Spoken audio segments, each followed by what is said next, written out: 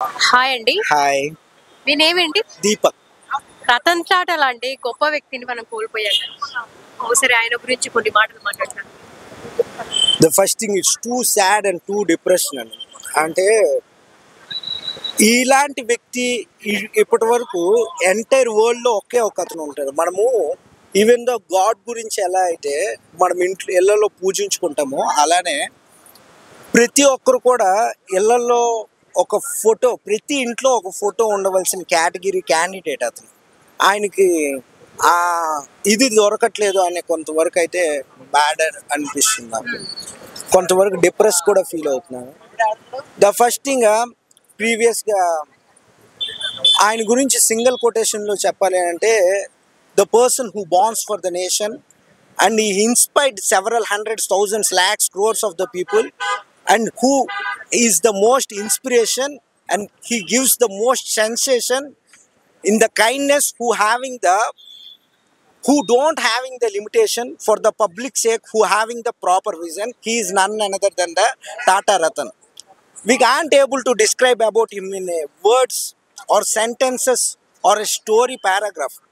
It's like a golden era we at the from starting stage onwards nearly from at the as a childhood onwards the uh, in the story in every subject one of the chapter needs in the social studies like that చాలా అంటే చాలా బాధాకరం అండి అలాంటి వ్యక్తి మళ్ళీ మనకి మన ఈ దేశానికి కానీ మన ఈ ప్రపంచానికి దొరకని వ్యక్తి చాలా ఫౌండేషన్స్కి ఫండ్స్ ఇచ్చాడు total one hundred and forty కంట్రీస్లో ఆయన తాలూకా కంపెనీస్ని ఎస్టాబ్లిష్ చేశారు.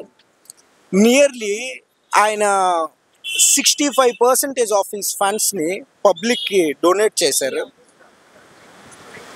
ఈవెన్ దో మన ఒక ఫ్యామిలీలో ఒక బ్లడ్ రిలేషన్షిప్స్ ఉండేటప్పటికి కూడా అంటే they they have to share each and everything also equal in the equal partition. ఆయన మాత్రం ఒక ఒక హ్యుమానిటీతో ఒక నిష్కల్మషంతో ఎంటైర్ ఆయన పబ్లిక్ కోసం ఆయన ఫ్యామిలీని వదిలేసి టోటల్గా ఇచ్చేవారు. అలా చాలా తక్కువ మంది ఆయన అందులో ఇతను. అదే ప్రీ ఎంతోమంది ఆల్రెడీ ఆయనకు చెప్పేశారు కూడా లైక్ ఏ కోహిని డైమండ్ అని. అలాంటి డైమండ్ మనం వదులుకున్నాము అని. మళ్ళీ అదే ఆయన గురించి మాట్లాడుకుంటే ఇప్పుడు హండ్రెడ్స్ థౌజండ్స్ ఆఫ్ పొలిటీషియన్స్ కూడా చేసేది చాలా తక్కువ. నెంబర్ ఆఫ్ స్టాచ్యూస్ చనిపోయిన వెంటనే వీధికి ఒక స్టాచ్యూ కడతారు. అంతేగాని ఈయన ఒక ఒక ప్రపంచ దిగ్గజం. ఈయనకి మనం ఇచ్చే వాల్యూ ఏంటి? ఈయనకి ఈయనకంటూ ఒక pride of the world pride of the world ఈయనకంటూ మనం ఒక స్టాచ్యూ అంటూ మన వరల్డ్కి ఇప్పుడు గేట్వే ఆఫ్ ఇండియా ఎలానో తాజ్ మహల్ ఎలానో ఈయనకు కూడా ఒక స్టాచ్యూ పెట్టాలని మెయిన్గా ఇది అని చేసుకుంటున్నాం. మేమైతే కంపల్సరీగా అనుకుంటున్నాం. పీపుల్కి ఒక ఆ, తిరిగే కార్ కానీ నేను అలా.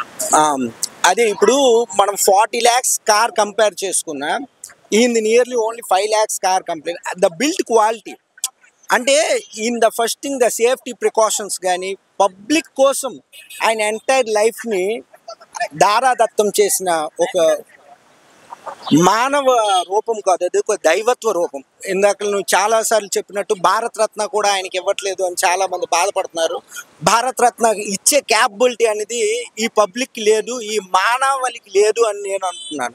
ఆయన ఒక దైవాత్మక దే దేవుడు మనకి జన్మనిచ్చినందుకు మనం దేవుడికి వెళ్ళి మనం ఫస్ట్ ఆఫ్ ఆల్ ఇలా చెప్పలేం కదా దేవుడా నాకు జన్మనిచ్చావు అనేసి ఆయనకి మనము ఒక అవార్డు ఆయనకి వచ్చి రివార్డ్ ఇస్తే ఎట్లా ఉంటుందో ఆయనకు కూడా మనం అలా ఇస్తే ఫస్ట్ థింగ్ కంపల్సరీ అలానే ఉంటుంది.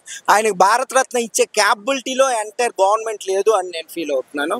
ఆయనకి ఇవ్వలేదు అని నేను ఎటువంటి దిగ్భ్రాంతి కూడా చెందట్లేదు. ఆయనకి ఆయనకి భారతరత్న విశ్వరత్న ఇలా వరల్డ్ లోపల ఎన్ని అవార్డ్స్ ఎన్ని రివార్డ్స్ ఆయనకి ఇచ్చినా it's it's like a point five point one ఎంఎంలో ఎలా ఉంటుందో ఆయనకి అంతే. It's not the something pride కాకపోతే one statue like a the Statue of Liberty ఎలానో మన ఎంటైర్ ఇండియాకి ఒక ప్రతి స్టేట్లో at least not for every district ప్రతి స్టేట్లో కూడా ఆయన స్టాచ్యూ ఒకటి పెట్టాలని మాత్రం నా మనస్ఫూర్తిగా ప్రతి ఒక్క పబ్లిక్ కూడా కోరుకుంటున్నారని నేను. ఆయన బిజినెసెస్ని ఒక వాల్యూస్ అండ్ ఎథిక్స్తో నడిపించాడు. అవును ఎగ్జాక్ట్లీ సో ఇప్పుడు ఆయన బిజినెస్ ఎవరు రీటేక్ చేస్తే బాగుంటుంది?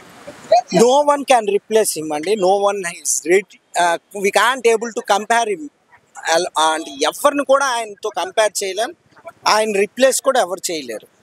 కాబట్టి ఆయన రీటేక్ అంటే ఇప్పుడు ఈవెన్ దో ఎవరు చేసినప్పటికి కూడా ద సేమ్ అనేది రాదు. వేరియేషన్ అనేది ఉంటుంది. ఈవెన్ దో ఆయన ఎవరో వాళ్ళ అన్నయ్య కొడుకు ఎవరో చూస్తున్నారు అని విన్నాను.